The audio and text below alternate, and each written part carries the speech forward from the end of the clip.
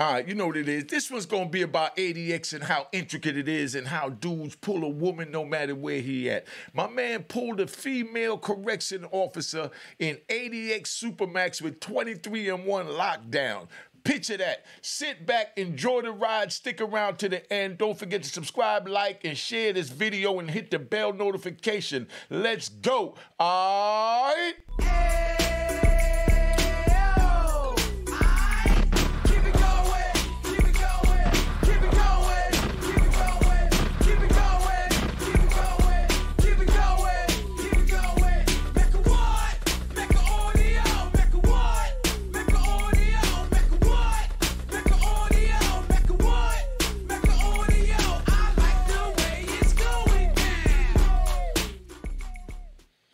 Right, you know what it is, man. Unique Mecca Audio, man. I'm gonna tell you this one about how my man from Sacramento, you know what I mean? Uh, pulled a female, you know. Matter of fact, he was a blood. He pulled a female from an ADX Supermax. Now, this is real intricate. Sit back and pay attention. That's the selling ADX. I sat in that cell for 23 hours a day, five days a week. You know what I mean? No rec on the weekends. Five days a week. We get five hours rec a day. Could you imagine only coming out your bathroom closet for five hours a week? All right? That's how I had to live. So that's how I'm trying to tell the youngins you ain't trying to live like that. So don't say that I'm promoting nothing and all this so, you know, hold up, hold up, hold up, and all this so rat bastard, trolling, flip flop, wearing in public crap. All right? Now, my man was sitting there, he doing his thing. You know, fly dude had little curls in his head. Cause remember, this is like 95. You know what I mean? So they still had the Jerry curls and all that on that side of the coast, right? So, you know, fly dude, you know, when you go out to the rec yard, right? Um, they got right on the rec yard, they got windows. You know, see those little windows right there in the back of me in the green, right there in the back of me in the green. That's the window facing the yard. So if you're on the first floor, people could come by directly to your window. If you're on the second floor, you could look out and you bang on the window for who you're trying to call. That's in another range because only one range at a time goes to the rec yard. All right. So we sit there. Hold up, man. Hold up. Hold up. Early, early. Yeah. Yo, who this? I'm doing a video. I'm letting you know I'm recording. What's up? Oh, good morning. I ain't you back, Playboy. All right, Playboy. If you want to say something, you can say something. I just want to let you know it's recorded. It's on you. Now, do your thing. Do your Uh, all right, family. All right. Yeah. So, you know, as again, I answer my phone. So y'all can't say I don't answer phone. Yesterday, I apologize to everybody that called. I'm gonna return the calls today.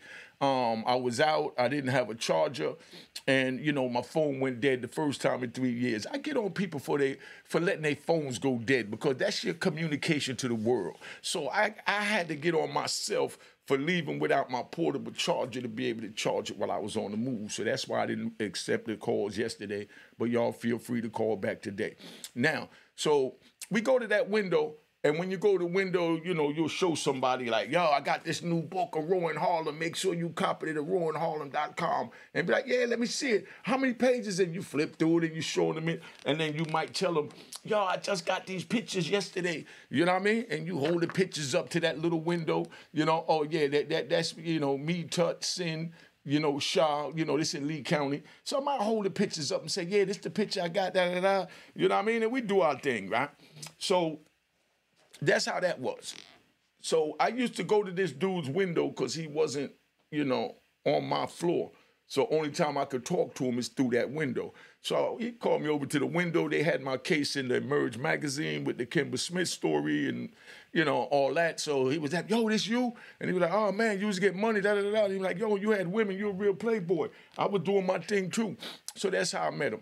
But now, what happened with that is his uh you know, like I said, this is an ADX, right? Nobody liked this dude because he had everything he wanted. His mama took care of him. His mama bought him all the books, you know, sent him all the books. So, you know, she sent him pictures. So he had everything. And people in there, a lot of people didn't really have nothing because majority of people that was there was already down over a decade or two and came from Marion over to ADX because I was one of the first inmates to open up ADX, right?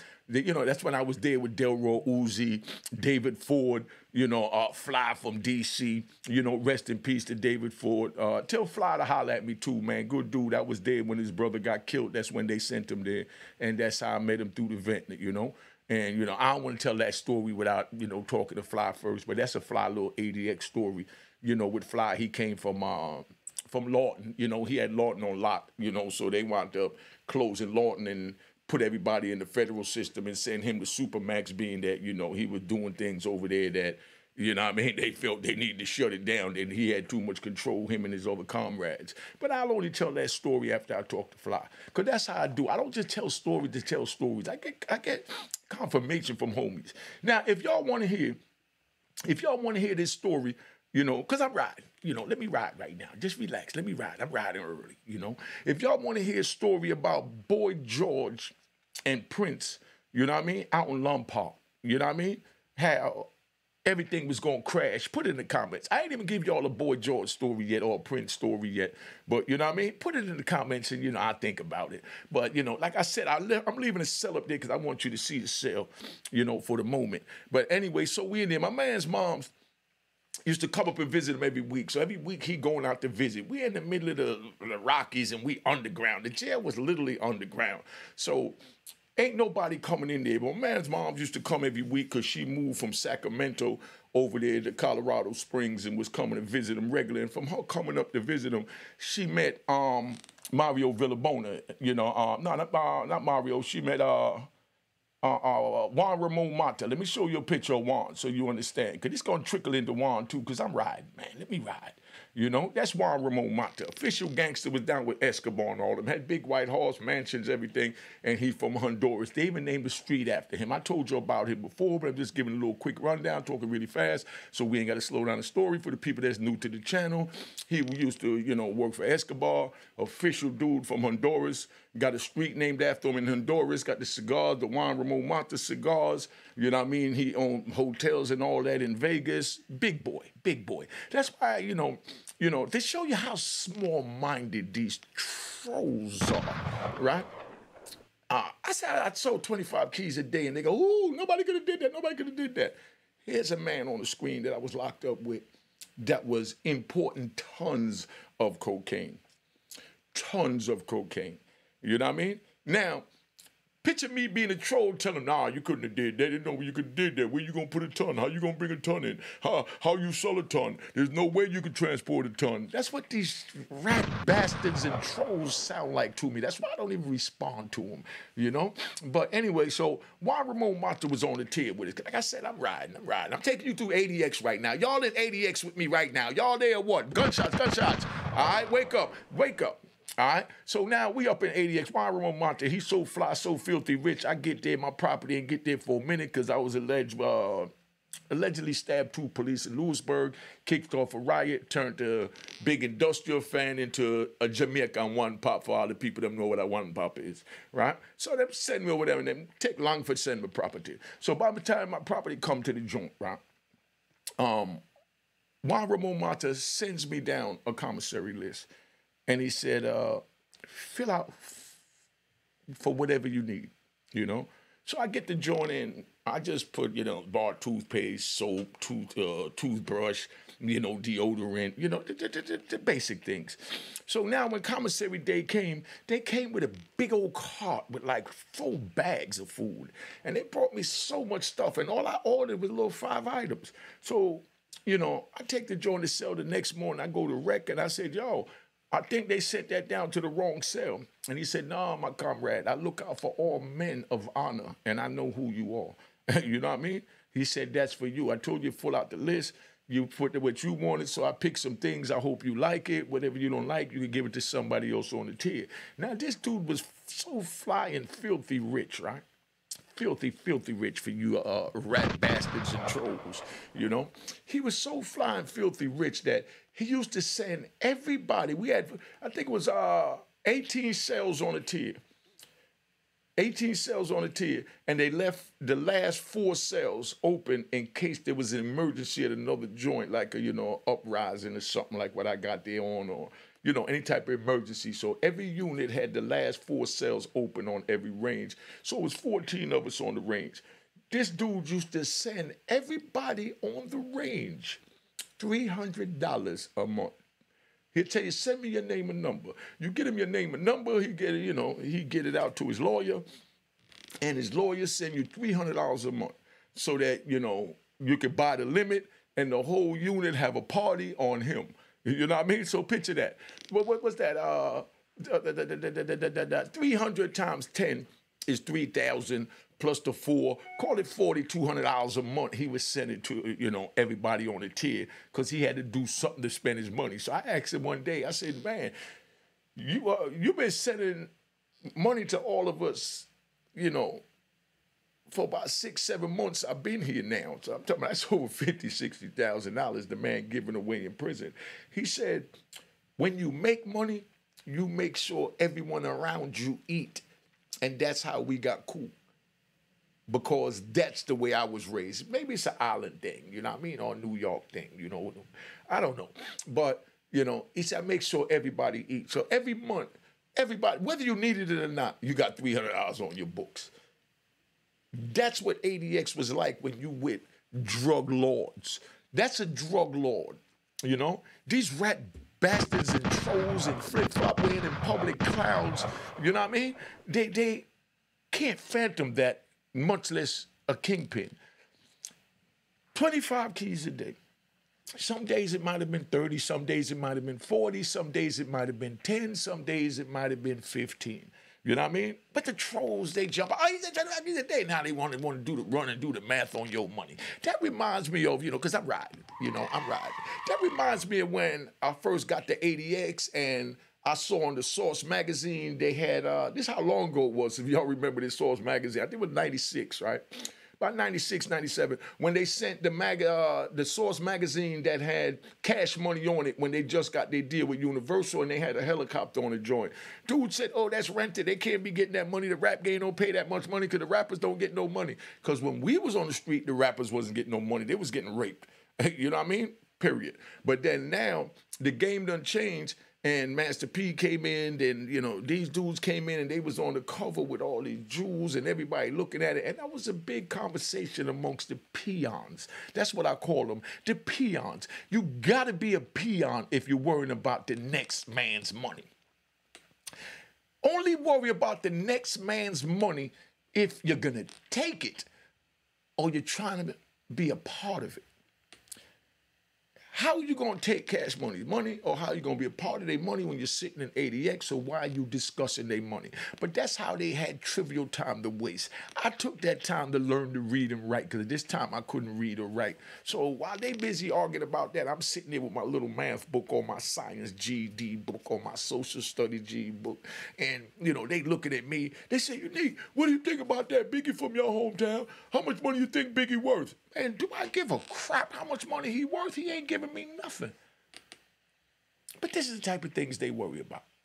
But anyway, you know, because like I said, you know, uh, uh, uh, um, I'm riding, you know, you know how it is. So now, this dude's that was there from Sacramento, his mother was coming to visit him regular. And when Juan Ramon Mata's family came, you know, this might be about Juan Ramon Mata, the way it might sound like, this is his part of the story, because I'm riding. If you don't like the ride, get the hell out the whip. you know what I mean? You know, and make sure don't slam my door, because I will shoot you in your ass on the way out.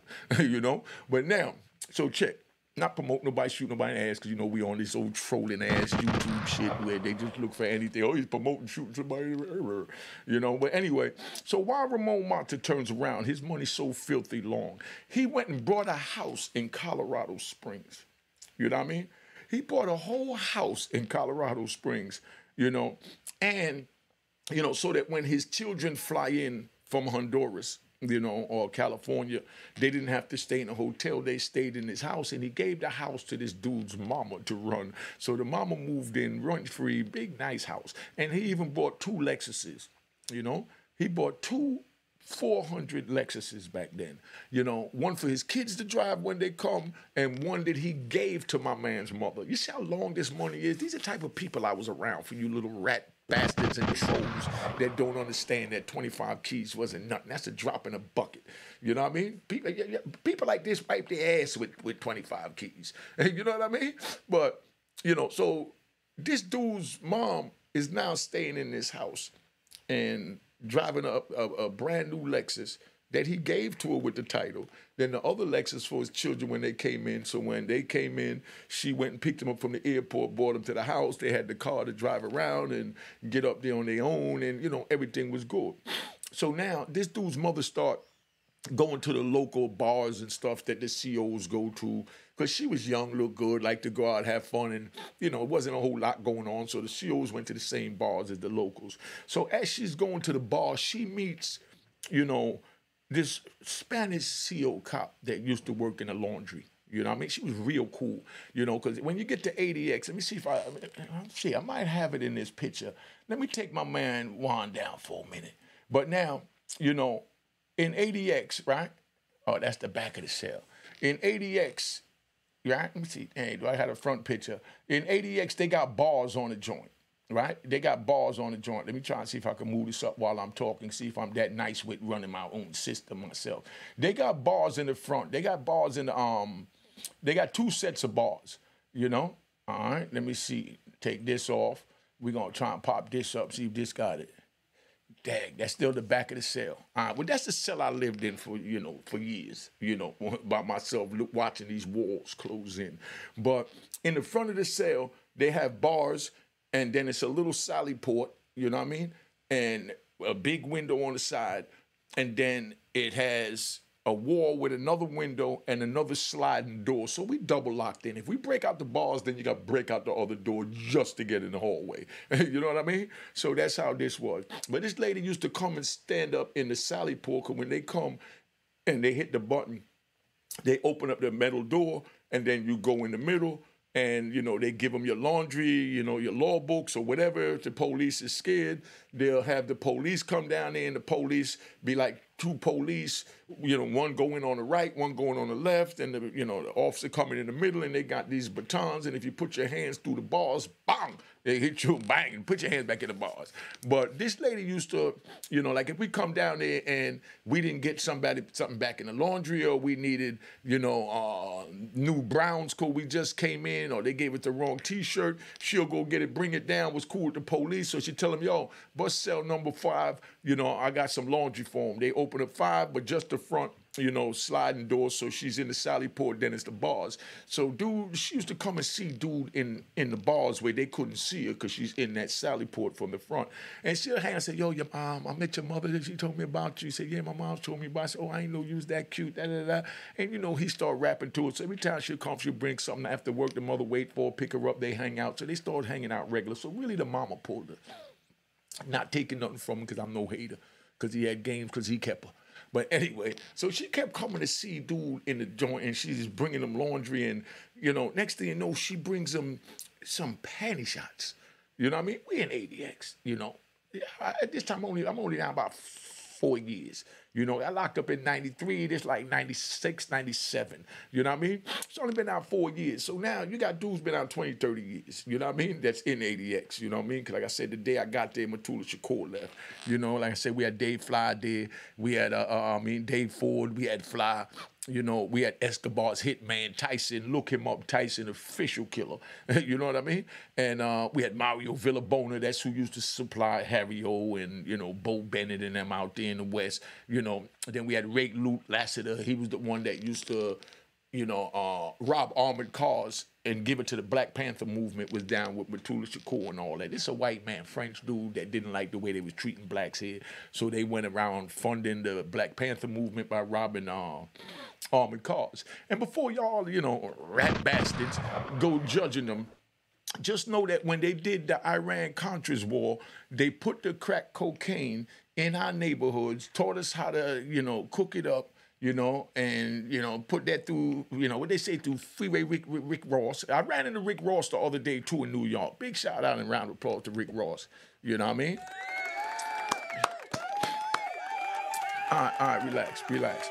Relax, man, relax. Let me tell my story, man. God, oh, right. So, you know, Rick Ross, they said it's who was the main player with the Iran Contras joint. But the same way the government was using the cocaine to fund the weapons in, you know, you know, the Iran Contras war is the same way, you know, this was going on. You understand? Just so you understand what I'm saying, you know. Pay attention. If you if I if I lose you, I lose you. I mean, you know, I mean, rewind the joint, you know. It'll be another view anyway.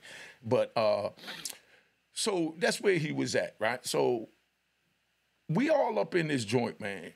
I'm talking about King Blood, you know what I mean? The Unabomber, you know, Timothy McVeigh when he was going to trial. You know what I mean? For you know, the Oklahoma City joint. I mean, I was with some of the craziest, man. I don't know how I made it out there alive with my mind still in order.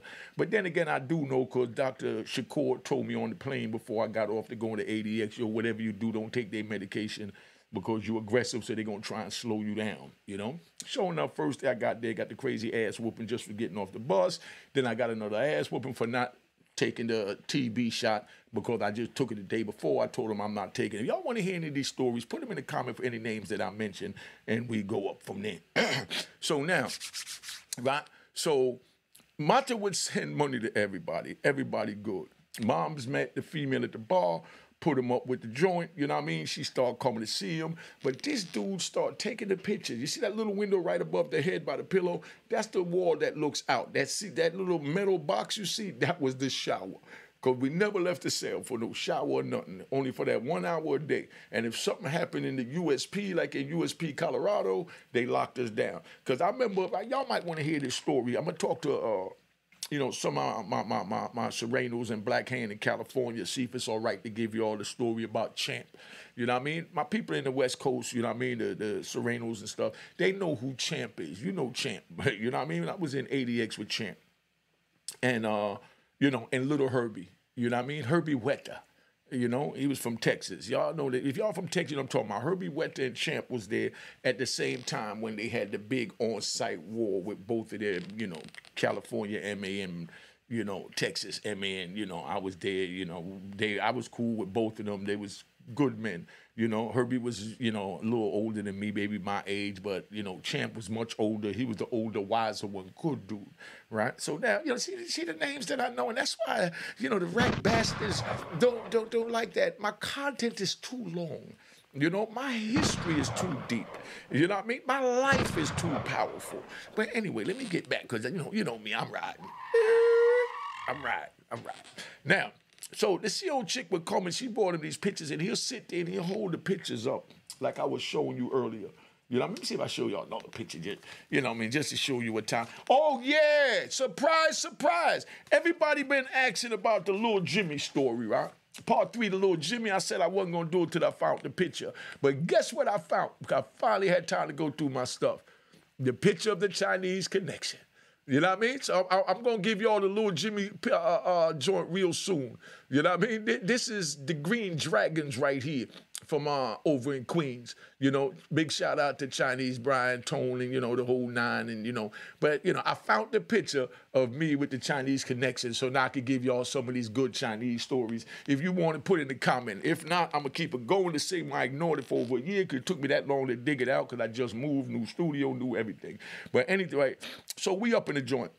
He's showing the pictures to people in the window. But he used to talk reckless to people because he was a show off. You know what I mean? Real show off. That's why me and him got along. you know, we were both flossy, you know. But a lot of dudes that didn't like him, you know. And he used to sell death through the bars, you know, meaning and, and, and I'm not going front. And there's no disrespect because, like I said, I you know, I know Lueders Park Piru dudes, official dudes. You know what I mean? I know Rolling 60s official. You know, but this dude, yes, he was a blood, but he had nothing to do with that. But he used to do stuff like, uh, you know, he was a cell gangster. He'd yell out the window, you know, out the bars when the police came out to tear for something, if he's arguing with somebody, yo, F you, I'm gonna kill you, and I see you, I'm a this, I'm a that, and he's carrying all, woo, woo, woo, woo, woo. And now the police come, so now the police is gonna move one of them. So he did that all the time. That was his little routine. You know what I mean? And, you know, he started a lot of beefs with people. And, you know, so I, I, I'm getting ready to tap out on this, but I'm gonna give you the ending. You know what I mean? Which is a sad ending. Cause the dude wasn't no no you know no rat bastard or nothing. So you know I say sad ending. He goes home, and it was the Crips came to Colorado. The Crips came to Colorado and they was on the street. That's where they had a dude. I'm gonna look him up. I want to tell his story. There was a Crip from Colorado, a young boy, right? He went to trial for like murder and all this stuff, and you know, he blew trial. When this dude blew trial, they turned around and, you know, he was going through the death penalty phase, and he said, skip the phase. You know, just execute me because your system crooked anyway. That's how gangsters were back in my time. He said, yo, we don't need none of that. You know what I mean? He said, yo, execute me. And they're like, no, we can't do it without a trial. And the dude said, well, I'm not going to your trial. You know what I mean? Just execute me and get it over with. You know what I mean? Because I'm never going to be a rat bastard, and I'm not going to sit through that railroad you just pulled off on me. So, you know, just execute me. And the young boy, they actually executed him out there. You know what I mean? Without going through the paperwork or not. I'm going to look it up so you get the name. And then, uh, who was the other one? Who's another one with the execution? Oh, Timothy McVeigh. Timothy McVeigh was something else, right? Timothy McVeigh, he straight told them, you know what I mean? Skip all that. Let's just get right to the execution. We're not going to play this game because we already know this joint crooked, so I'm not going to put my family through it. But that's how gangsters move, whatever color you are, whatever race you are. And those are the ones that I call my homies. So I'm going to say this again. Let me get up in the camera so y'all can hear this, right? Now, read the words coming out my mouth. You're not my homie because you're from my geographical location, because you're the same skin color, because you're the same race as me. That don't make you my homie. That just makes you a man. Your, your, your, your conduct determines if you're my homie, because if you're not dealing with morals and principles and standing on the code, you can never be my homie. And I won't have anything against you just identify yourself. Like I'm identifying myself, what I stand for. A man. If you are a rat bastard, identify yourself. You don't need to hide. And then I know if I want to deal with you, stay away from you or not, but I'm not a rat hunter anymore. Those days are over. Now, let me go back to the story. So the the, the, the Crips came out there, they doing their thing, and you know, being that dude, and this is at the time when, you know, Bloods and Crips was beefing hard on the streets. So he in the prison yelling the Bloods is better than the Crips, and the Bloods is tougher than the Crips, and this and that. And he's arguing because every time they put on the news, I think uh, I think they came from Oklahoma. You know what I mean? I think the Crips came from Oklahoma you know, by way somewhere, but to Oklahoma. But they wound up in Colorado, and they kept putting it on the local news. And this dude was always yelling out a tear, talking about how they was cowards and they faking and they not real Crips because they not from Cali and Cali was this and this is all this. He yelling through the bars, and he started all this, right? Um, with the with the homies that they homies is on the street in Colorado and he's selling death to them. And then he's getting ready to get paroled. Make sure, make sure you cop the book of Ron Harlem, man. All right, at ronharlem.com. But check out what happens. Let's check out what happens, right? This dude goes home and they wound up blowing his face off. All from the beef that he had in ADX.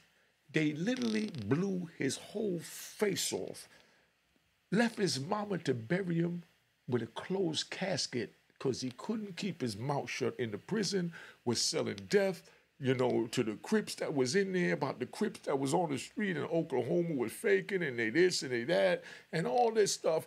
And not knowing that you get ready to go to the street. That's what dudes don't understand. They sell death through the bars and then they got to go back on the compound. You know what I mean? I guess because he figured he going home. These dudes ain't never going home. He could sell on death. He want he go home. He gonna be good. But mind you, he from Sacramento, but he moved out to uh, Colorado, and now he's selling death to the dude homies that's out there in Colorado, saying that they wasn't real Crips because they came from Oklahoma or something like that. Picture that. Tourist top off. You know, so you know, Cash App on the screen. I don't care if it's a dollar, five dollars. If it ain't nothing, at least just make sure you subscribe, hit the bell. Subscribe and hit the bell. Let's get this going and make sure you hit the like so we get this up in rotation.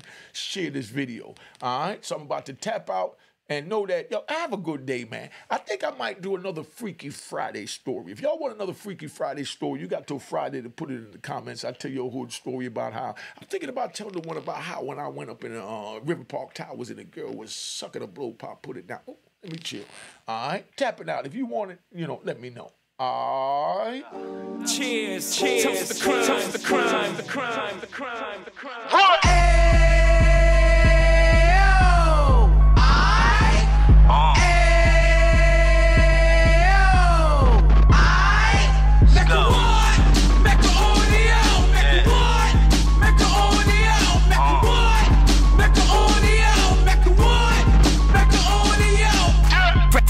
The crime. can of 26. He back on the strip, getting back in the mix. What he mentions a gift. You stand up ten toes down, and I suggest you pay attention to this. Real. Take a little gully posse and put it in Harlem. He cut from the bottom, came up from the bottom. Drop the book, you should go and get it. The Instagram page and the YouTube, you could go and visit. Then you could consider yourself linked LinkedIn. Sit front row and get Jews from a kingpin. How he went through it, so you ain't gotta go do it. To not pay attention would be stupid. Talking about a man that probably put your grandfather on. Probably the reason that him and your grams got along. A man that generated millions on the block, did his time, never squilling to the cops make an audio. Get,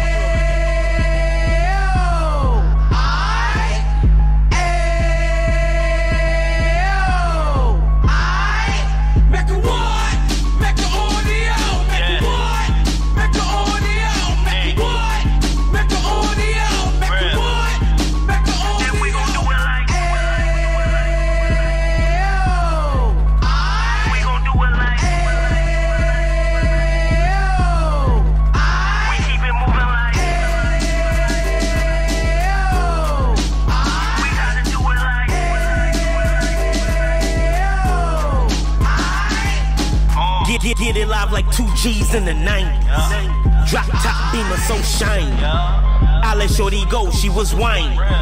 Treat her like my past, she behind. Spend a couple bands on the Dapper Dan. You be back again, getting green like a Packers fan.